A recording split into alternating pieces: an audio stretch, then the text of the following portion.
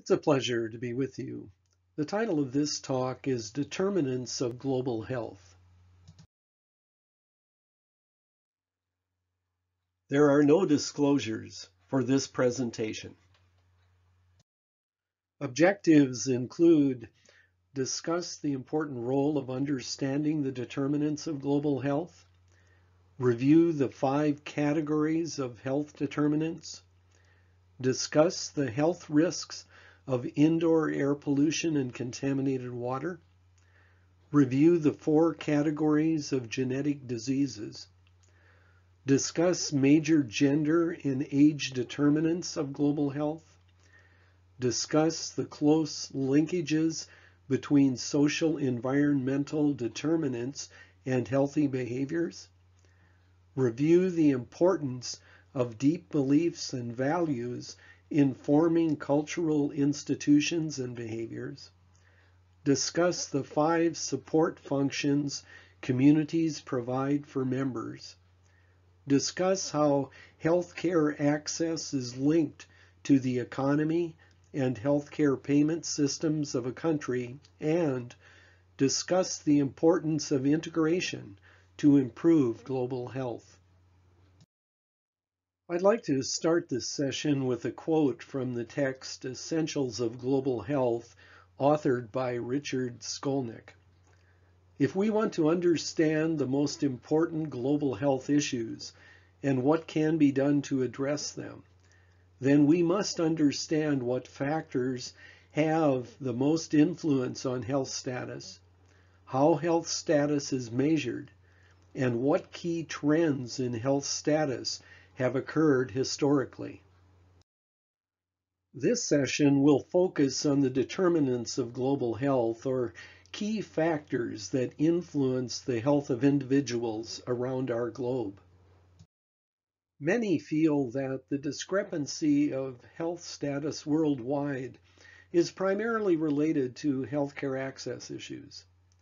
Though healthcare access is one determinant of health, research and experience clearly demonstrates that there are many other factors or determinants that significantly impact the health of people worldwide. The physical environment, health behaviors, primary prevention practices, individual characteristics, and the social environment. These are not exhaustive lists, but represent examples of each determinant category. The physical environment is an important health determinant. For example, both indoor and outdoor environmental air pollutants are important determinants of health globally. Most people are aware of the risks of outdoor air pollution, particularly in the world's large cities, as we see in this picture of smog in Nairobi, Kenya. In the developing world, indoor air pollution is often a major risk for respiratory diseases and asthma associated with indoor cooking, lighting, or heating absent adequate ventilation. The World Health Organization estimates that around 3 billion of the world's poorest people still rely on solid fuels. Wood, animal dung, charcoal, crop wastes, and coal, burned in inefficient stoves for cooking and heating. And some 1.2 billion light their homes with simple kerosene lamps. These household energy practices emit large quantities of health damaging particulate matter and climate warming pollutants, for example, black carbon, into the household environment, increasing the risk of respiratory illnesses, including childhood pneumonia and chronic obstructive pulmonary disease, cardiovascular diseases, and lung cancers. Global burden of disease estimates have found that exposure to household air pollution due to cooking on inefficient biomass stoves led to an estimated 4.3 million deaths in 2012. This does not include risks related to the use of inefficient lighting like candles or kerosene lamps. The data also does not consider deaths or diseases related to the use of coal, kerosene, or biomass heating systems, which may also emit large quantities of particulate-laden smoke either directly into the household or outdoors in the neighborhood. This graph demonstrates that low middle income homes around the world, and particularly in Southeast Asia, the Western Pacific region, and Africa, accounted for almost all deaths attributed to household air pollution, HAP, in 2012 versus those associated with high income HI countries. The World Health Organization estimates that globally at least 2 billion people use a drinking water source contaminated with feces. Contaminated water can transmit many diseases, including diarrhea, cholera, dysentery, typhoid, and polio, etc. Contaminated drinking water is estimated to cause 485,000 diarrheal deaths each year, particularly in children. By 2025, half of the world's population will be living in water-stressed areas. In least developed countries, 22% of healthcare facilities have no water service, 21% have no sanitation service, and 22% have no waste management service. Sanitation refers to the provision of facilities and services for the safe management of human excreta from the toilet to containment or disposal and the safe management of solid and animal waste. Poor sanitation is linked to transmission of diseases such as cholera, diarrhea, dysentery, hepatitis A, typhoid, polio, and many ignored tropical diseases like intestinal worms, dracunculiasis, schistosomiasis, trachoma, etc. Inadequate sanitation is estimated to cause 432,000 diarrheal deaths annually. Poor sanitation also contributes to malnutrition, stunting, impaired cognition, sense of well-being that impacts school attendance, anxiety, and safety with lifelong consequences, especially for women and girls.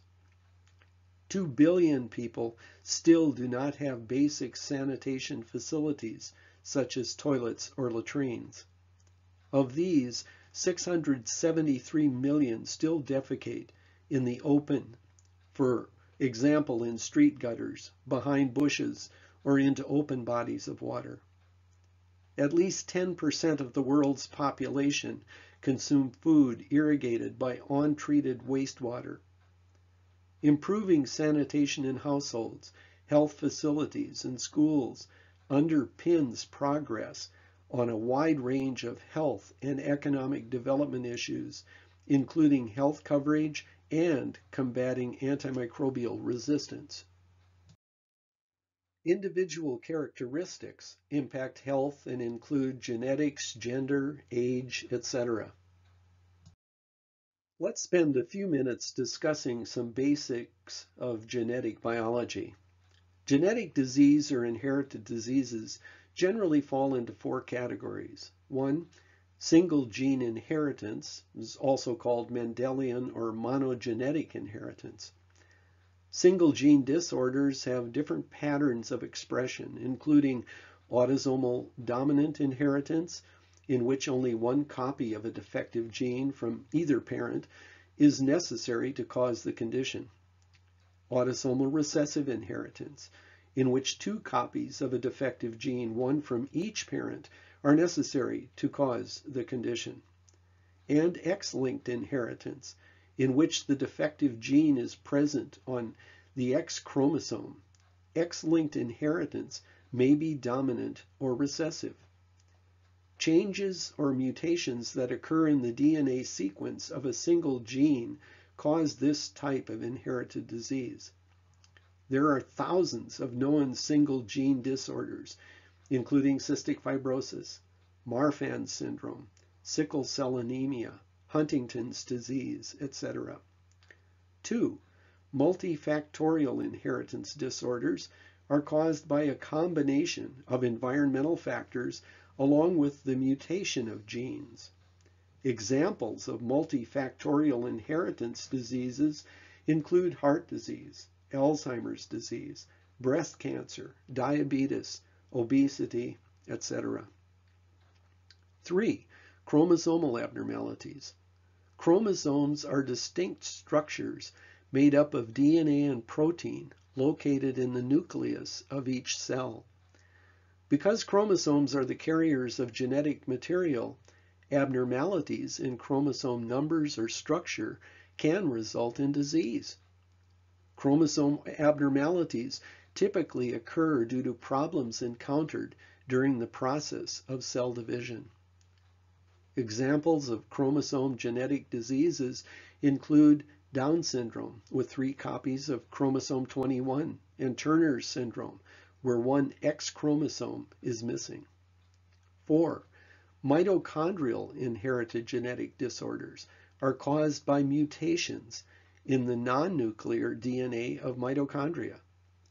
Mitochondria are often described as a cell's energy generating center since female egg cells, but not male sperm cells, keep their mitochondria during fertilization, mitochondrial DNA genetic disorders are always inherited from the female parent. Examples of mitochondrial inheritance disorders include Leber's optic atrophy and myoclonic epilepsy. This slide provides just a few examples of common gender-associated health conditions. Women have risks of breast, ovarian, and uterine cancer. Approximately four times more women suffer from osteoporosis than men. Roughly 70% of those living with autoimmune diseases are female. In Western cultures, almost 10 times more women than men suffer from eating disorders such as anorexia nervosa and bulimia nervosa. Alzheimer's disease has a higher rate in women than men. Approximately two times more women than men suffer from unipolar clinical depression. Prostate cancer and testicular cancer only occurs in men. Stomach, esophageal, liver, and oral cancers which often are associated with lifestyle-based risk factors, are more common in men. X-linked recessive inheritance diseases like color blindness occur more frequently in men. Hemophilia A and B occur almost exclusively in men. Abdominal aortic aneurysms are six times more common in men. Autism is approximately four times more prevalent in males than females. Schizophrenia is about 1.4 times more common in males and on average starts two years earlier and results in more severe symptoms in men. Men are two times more likely than women to be affected by antisocial personality disorders and substance use disorders. The data on this slide is from the World Health Organization and lists age-associated causes of death for lower middle income countries in 2016 to 2017. The leading causes of death among children under five were preterm birth complications, acute respiratory infections, intrapartum related complications, congenital anomalies, and diarrhea. For adults, the leading causes of death included ischemic heart disease, stroke, chronic obstructive pulmonary disease, diabetes, liver cirrhosis, and road injuries. Healthy behaviors or primary prevention factors include injury prevention practices, adequate exercise and diet, etc. Education and income are linked and are powerful determinants of health for several reasons. Education provides information and knowledge regarding good health practices. Education also provides skills that result in more employment opportunities and better paying jobs, resulting in a higher income for the individual and their family and a higher social status within the community. Compared to infants of normal weight, low birth weight infants are at increased health risks. Low birth weight babies are often more prone to infections during the first few days of life. They also have increased risks for longer term problems such as delayed motor and social development or learning disabilities. Maternal risk factors for lower birth weight babies include smoking, drinking alcohol, lack of weight gain during pregnancy, the mother younger than 15 years or older than 35, social and economic factors including low income, low educational level, stress, domestic violence or other abuse, and being unmarried. Other maternal risk factors for low birth weight babies include the history of a previous preterm birth and environmental factors like exposure to air pollution, both indoor and outdoor, and drinking water contaminated with lead. The best indicator of a baby's birth weight is the educational level attained by the mother.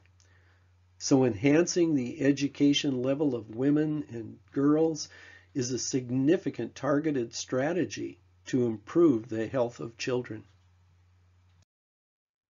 This lists other healthy behaviors that are also linked to better educated individuals, including better diets, less smoking, less obesity, families with less children, improved child care, and improved child health. Improved child care is associated with improved child nutrition. There is a strong correlation between the nutritional status of infants and young children and the extent to which they meet their biological potentials, enroll in schools, or stay in school. On Abraham Maslow's hierarchy of needs diagram, education helps individuals and families move from the area of having to focus on meeting deficiency needs, the survival area, to the growth area of the pyramid, where individuals and families can focus on the future health benefits of primary prevention and healthy behaviors. Major deficiency needs must be significantly satisfied before growth, self-actualization, or self-transcendence can be successfully pursued. A major point is that improving educational opportunities across the globe for all individuals will significantly improve health and healthy behaviors. Let's now consider the concept of culture and how it influences healthy behaviors. This is a diagram of culture adapted from J. Linwood Barney. The behaviors human beings manifest are dependent on deeper layers of culture as diagrammed. The worldview or deep beliefs are located at the center of culture. Those deep beliefs generally fall into four broad categories. Beliefs about self as a human being, beliefs about nature, the supernatural, and time the past, present, and future. Those deep beliefs or worldview set the base for a culture's values or the things a culture deems important. It's upon those deep beliefs and values that a culture builds its institutions. These institutions include the way a culture governs itself, educates children, marries people, judges right and wrong, organizes and runs its businesses, etc. Finally, those beliefs and values and institutions influence and dictate the behaviors individuals of a culture manifest. The main point is that cultural beliefs and values about health illness, healthcare, healthcare policies, trust of government, etc., are extremely important social environment determinants of health-related behaviors. Let's now turn our attention to the social environment. Though we've already briefly discussed how the income, education, and culture determinants of the social environment influence healthy behaviors, let's continue a brief discussion of gender norms and social support structures. Gender norms are closely linked to a culture's deep beliefs, values, and institutions. A major global health gender norm issue is the social status of women. In many societies, women are relegated to a lower social status than men, which translates into lower income, less education, and more dangerous work conditions, all of which are associated with poorer health. The presence of strong social networks for individuals and families are associated with increased health. Providing those strong social networks is a function of a cohesive, effective community structure. Let's spend a few minutes discussing community functions. So what is a community? Community engagement specialists often define community differently versus other organizations. Many organizations define community by geopolitical boundaries, living in a certain area of a large city, living in a certain township of a rural area, etc. Key attributes of a community to a community engagement specialist would include 1. People in a community know each other by first name, which usually limits a community size to about 1,000 to 1,500 people. And 2.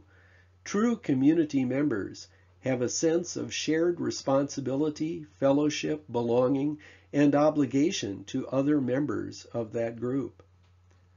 The following situation illustrates a difference between a geopolitical and common community engagement definition of community. People may live in the same apartment building and know each other by first name, but not feel an obligation to help other individuals in that building when they experience a personal disaster like death, loss of their job, severe illness, etc. Using the geopolitical definition, individuals in that apartment building would be considered members of a community. To a community engagement specialist, they would not be a community if they failed to meet the two key attributes listed on this slide. Using these attributes versus just a geopolitical definition, communities may then include prostitutes working in a region of a state, street children living in a sewer system of a large city, ethnic groups scattered across a country, a small rural town, schools, businesses, faith-based groups, and various organizations like Kiwanis, Optimists, Knights of Columbus, sororities, fraternities, etc. Beyond the two key community attributes of knowing each other by first name and having a sense of shared responsibility for each other, true communities may also, but not always, live in the same geographic area, as mentioned above, have common norms, laws, rules, and statutes, use the same language, and hold similar cultural beliefs, values, institutions, and behaviors. True communities that meet the key attributes on this slide provide incredible socialization opportunities for their members. True communities perform five functions listed on this slide. One, True communities provide members with reasonable opportunities and support to meet community members' needs. This translates into the community helping its members meet their social determinants of health.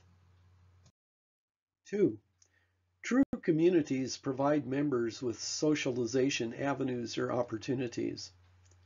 The community utilizes these socialization avenues to instill within members the community's and culture's beliefs, values, institutions, behaviors, and norms as diagrammed and previously discussed. This process of instilling beliefs, values, institutions, behaviors, and norms would also be considered the process of enculturation. Methods of socialization and enculturation may be steeped in community or cultural tradition, impacted by modeling of respected formal and informal leaders, and reinforced through more formal teaching methods. 3. Communities provide social controls. Communities develop ways to enforce adherence or conformance to community values and norms. This may take several forms, from informal community pressure to more formal laws, rules, and statutes. 4. True communities provide members with social participation opportunities. The community fulfills member needs for companionship and sense of belonging. This may occur through many venues, including faith-based programs, business activities, educational groups and opportunities, book clubs, bingo parties, music concerts, recreation activities, health and wellness programs, internet connectivity, various disability and special population programs, etc. 5. True communities provide members with a sense of shared responsibility and concern for community members and the community at large. This function enables members to cooperate to accomplish tasks too large or too urgent to be handled by a single person, like raising funds to support a community hospital or clinic, building a playground for children, organizing a community response to drug addiction, etc. It also provides a network of support for individual members and families who have suffered a significant loss, tragedy, or illness, etc. These five community functions are essential for an adequate and healthy social environment and socialization of community members. Unfortunately, not all communities or societies are healthy. This slide lists some common attributes that dysfunctional communities lack, including clearly defined roles and goals, shared beliefs, values, institutions, and behaviors, clearly defined boundaries, community member ownership, provide valued roles for members, communicate effectively with members, adequate skills and resources, meet needs of members, and share and draw on skills and resources where needed. Most of these community dysfunctions are associated with poorly engaged communities. It may indicate a group that fails to meet the definition of community or indicate poor leadership, etc.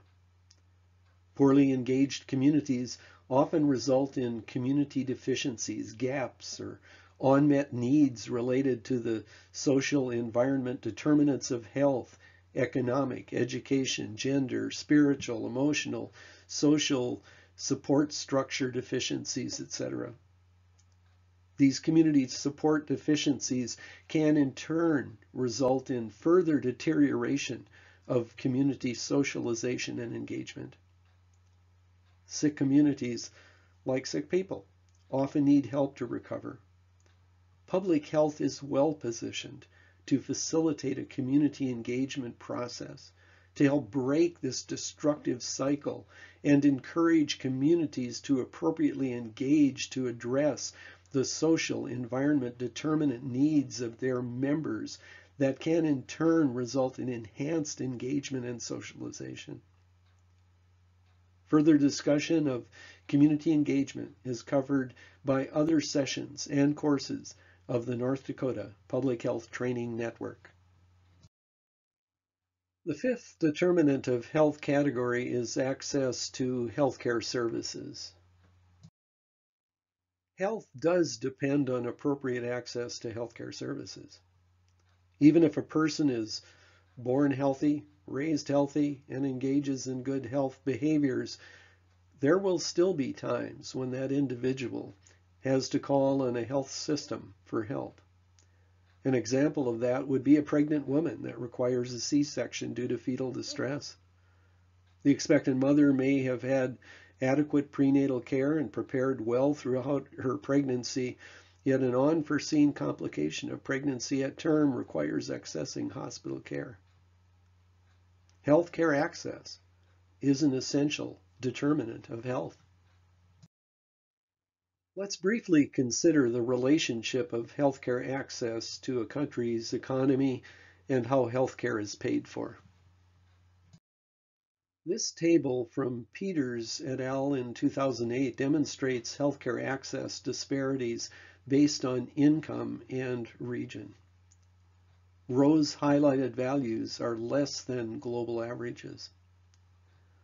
Available hospital beds per 10,000 population and doctors and nurses per 1,000 population were much lower for low and low middle income countries versus high income countries. Africa, followed by Southeast Asia and the Eastern Mediterranean WHO regions also had much lower availability of hospital beds, doctors, and nurses versus the Americas, Europe, and Western Asia. Western Asia had hospital beds above the global average, even higher than the Americas, but were below the global average for doctors and nurses. At the national level, poorer countries tend to have less access to health services than wealthier ones. Lower middle income countries account for 90% of the global burden of disease, but for only 12% of global spending on health.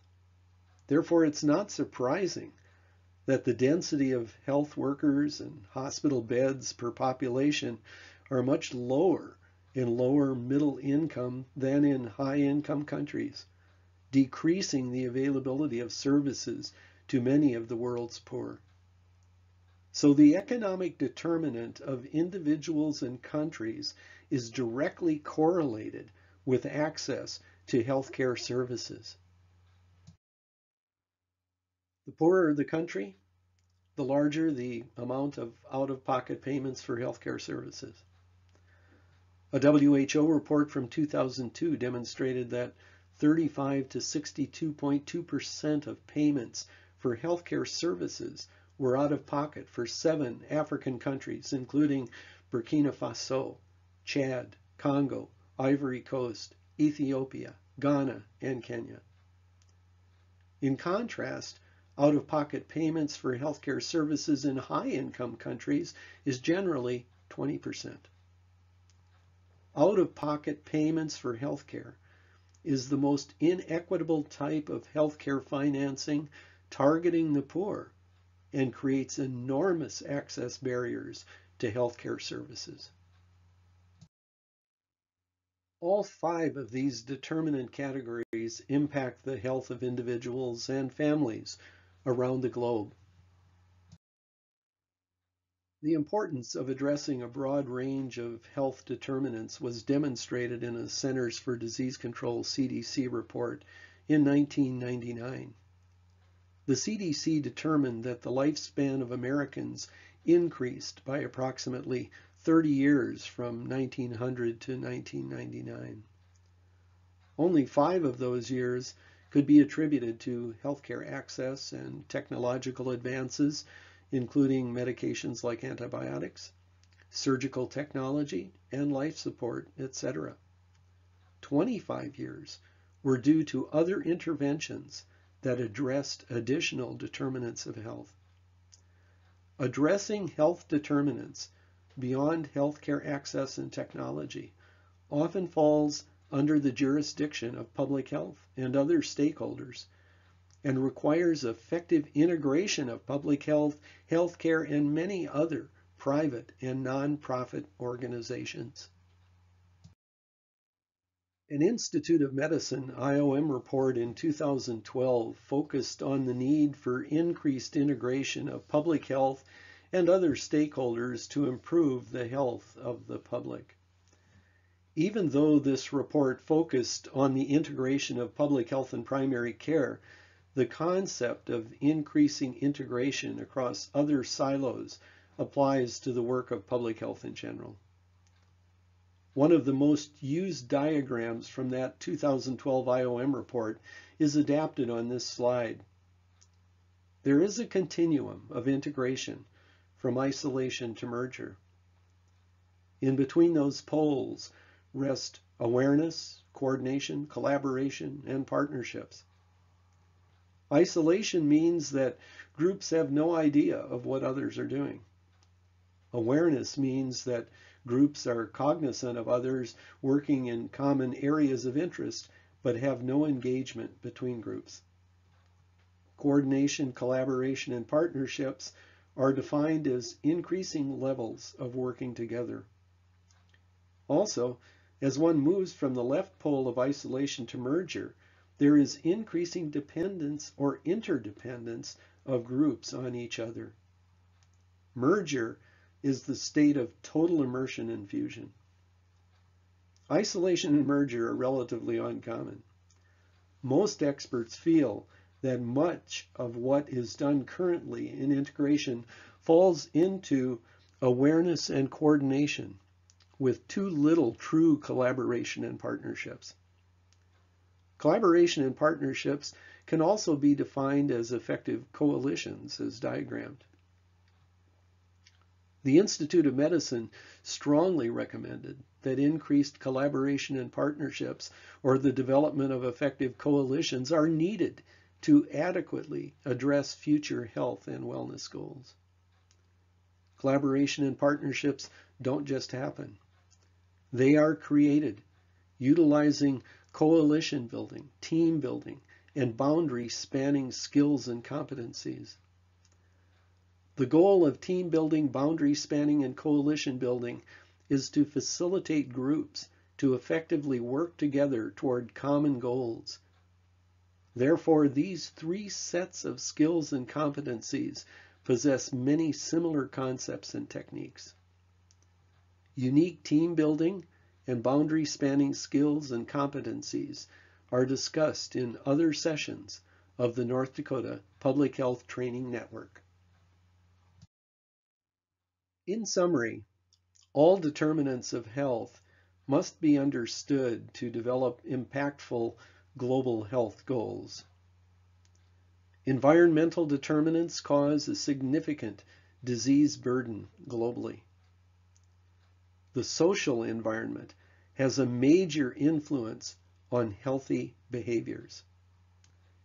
Engaged communities are essential to provide an adequate social network.